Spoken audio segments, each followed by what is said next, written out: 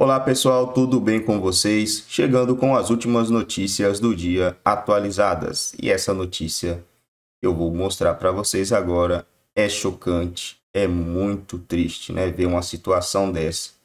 Mas é notícia, é real. Antes de soltar o vídeo, eu quero pedir a você que ainda não é inscrito em nosso canal e curte esse tipo de conteúdo. Clica no botão vermelho aí escrito inscreva-se. Acione o sino das notificações, que assim toda vez que a gente postar um vídeo, você vai receber na mesma hora aí no seu aparelho. E quero pedir a você também que deixe o seu like, seu like é muito importante também, ajuda no engajamento do vídeo aqui na plataforma, beleza? Sem muito enrola, vamos ao vídeo. Ora, o Supremo Tribunal Federal determina a soltura de 85 presas na penitenciária feminina do DF para abrir espaço para outras mulheres que participaram dos protestos violentos em Brasília e foram detidas. Bruno Pinheiro, quem determinou exatamente essa soltura? Bem-vindo de volta.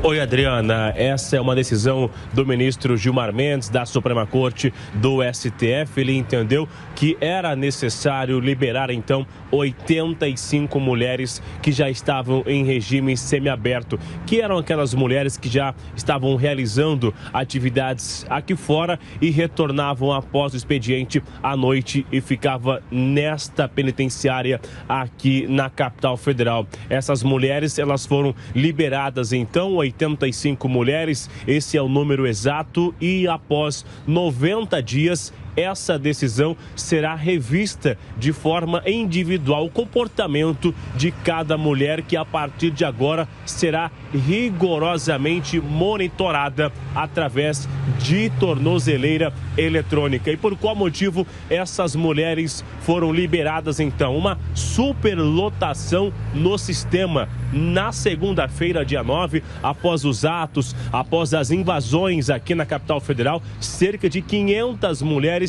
chegaram no sistema penitenciário na cadeia feminina aqui na capital federal. E diante disso, então, 85 mulheres que estavam aptas a serem liberadas, que já estavam em regime semiaberto, elas foram liberadas em uma decisão do ministro Gilmar Mendes. E como eu disse, em 90 dias, essa decisão será revista. A gente vai acompanhar como esse monitoramento vai acontecer e se a tornozeleira eletrônica será a melhor forma de monitorar essas 85 mulheres, Adriana. É, pessoal, 85 mulheres aptas para prender pessoas que nada fizeram, né? Porque os que fizeram, eles têm acesso às câmeras todo lá dentro. Só que aí você faz um pacotão e pega quem não fez também, pega tudo, pega quem estava lá fora, quem você acha que deve pegar e coloca no lugar e solta, né? Muito legal. Deixa aí o comentário de vocês, o que vocês acharam dessa notícia.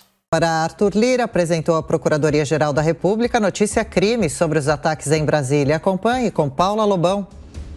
O presidente da Câmara dos Deputados, Arthur Lira, afirmou que todos os agentes públicos que tiveram alguma responsabilidade nos atos de vandalismo cometidos no dia 8 de janeiro contra os prédios públicos dos três poderes serão responsabilizados, mesmo se forem parlamentares. Em audiência realizada nesta segunda-feira, Lira entregou ao Procurador-Geral da República, Augusto Aras, uma notícia-crime com informações sobre os atos registrados na Câmara no domingo. Todos, todos que tiverem responsabilidades vão responder.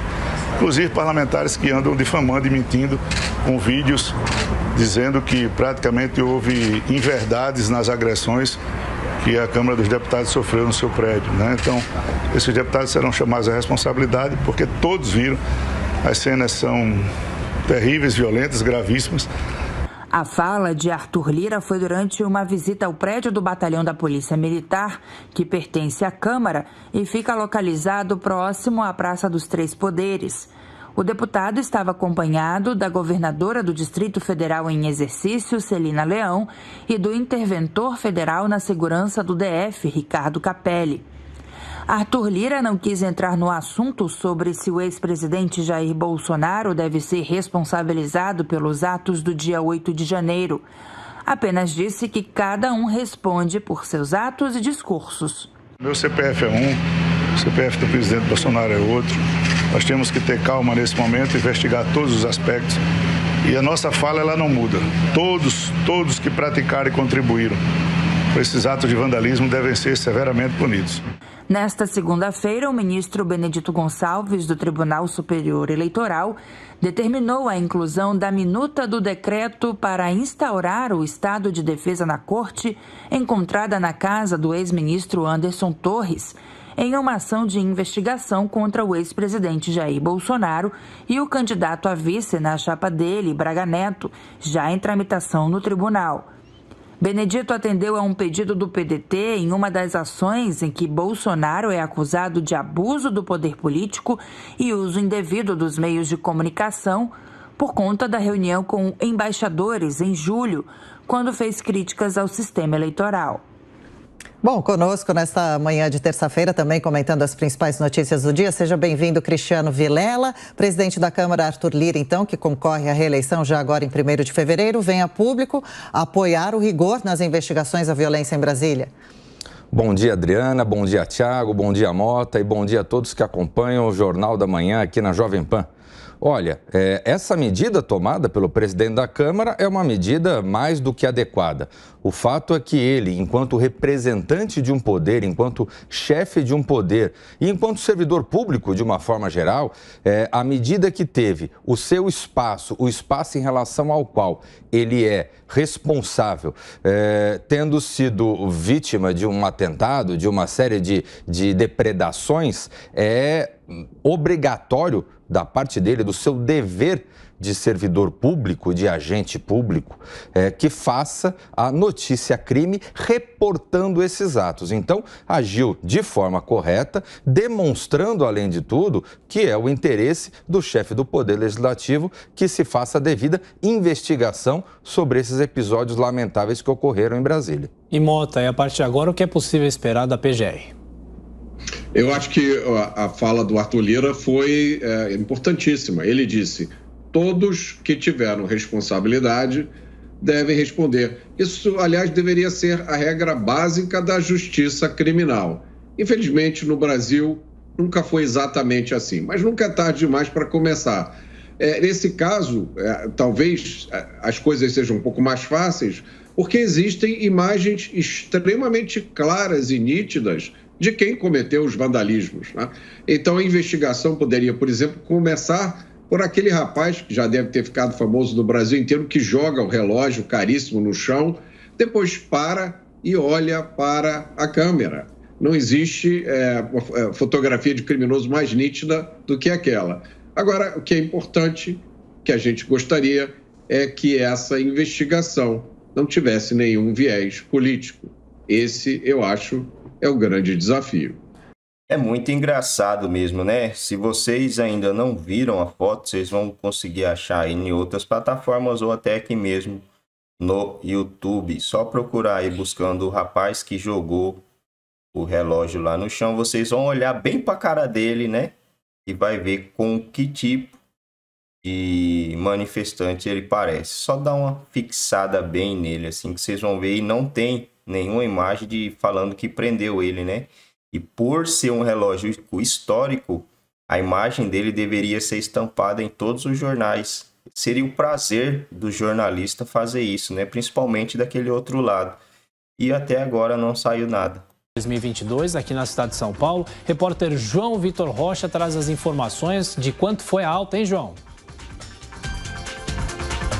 Tiago, subiu 14,62% neste ano de 2022, nesse valor médio da cesta básica aqui em São Paulo em dezembro do ano passado, no mês passado, se compararmos com o valor de dezembro de 2021. Naquele momento, há um ano atrás, o valor da cesta básica, o valor médio da cesta básica aqui em São Paulo era de R$ 1.088. No mês passado, esse levantamento do Procon aqui de São Paulo identificou que o valor da cesta básica ficou em média em R$ 1.240 37,04. Isso representa, Tiago, 96% do valor do salário mínimo, que agora é de R$ 1.302, segundo a nova atualização já agora a partir de janeiro.